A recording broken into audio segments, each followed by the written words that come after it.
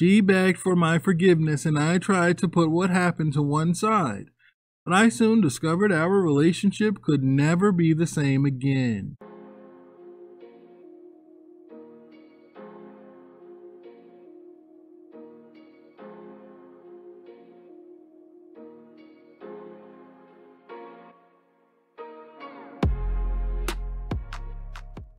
What's going on, everybody? Hope everybody's feeling good. Hope everybody's doing well.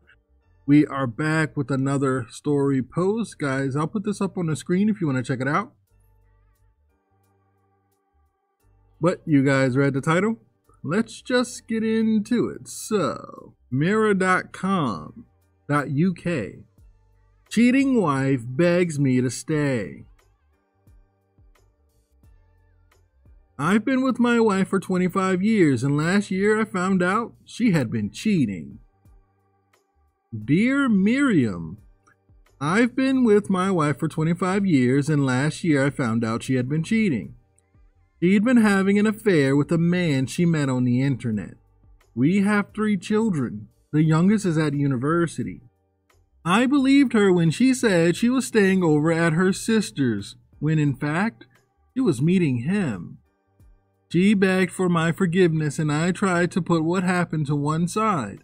But I soon discovered our relationship could never be the same again. So I was asking a solicitor to set the wheels in motion for a divorce. Good. On the day I told her, she threatened to off herself. She keeps telling me she will do it unless I take her back. I'm certain I want a divorce and I don't want to be held hostage by her threats. But I'm frightened. What if she did do it to herself? The person he's writing to replied and says, She's making herself into the victim when she has only herself to blame for the mess she's in. But it's clear she isn't coping well with the fallout from her affair and your reaction. She's in a state of shock. This wasn't supposed to happen. You were supposed you were supposed to forgive her after all the tears, begging and pleading. He resorted to emotional blackmail to try to manipulate you. Emotional blackmail is a form of bullying, and it's wrong. You can't stay in a relationship for fear of what she might do to herself. You're not responsible for keeping her alive. She's responsible for her feelings and actions, nor should you stay out of sympathy. Good relationships are based on mutual respects and it seems you've lost all respect for her.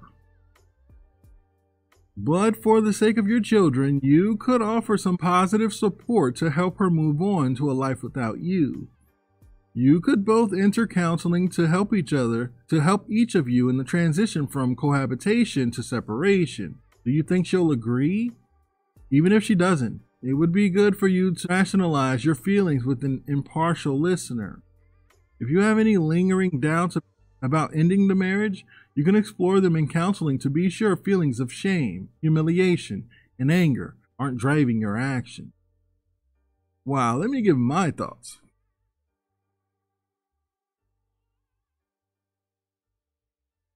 At this point, she disrespects you like that. Look, hold on. You caught her cheating. She didn't come confess anything to you. Let's see. You found out she had been cheating. I'm guessing you, you caught her cheating. If you would have never caught her, you think she would have stopped cheating? Absolutely not. She had her husband paying the bill, she had her family, she has nothing to worry about, and she gets her little side piece on the side. And you know nothing about it. But you found out, now she's all butthurt, crying, Oh, please don't leave me, I love you. Okay, if you do, I'm gonna do this. All right. That's on you. That's on you. I, I, I'm not going to suggest that you go through with it, but I'm leaving. It's over. Sad. She's losing her meal ticket. She probably never had to pay all the bills. You know, she had a nice life. And she thought she could be sneaky and get her a little side dude, and it didn't work out. Hmm. Hmm. Guys, let me know what you think about this in the comments. I'll catch you guys at the next one.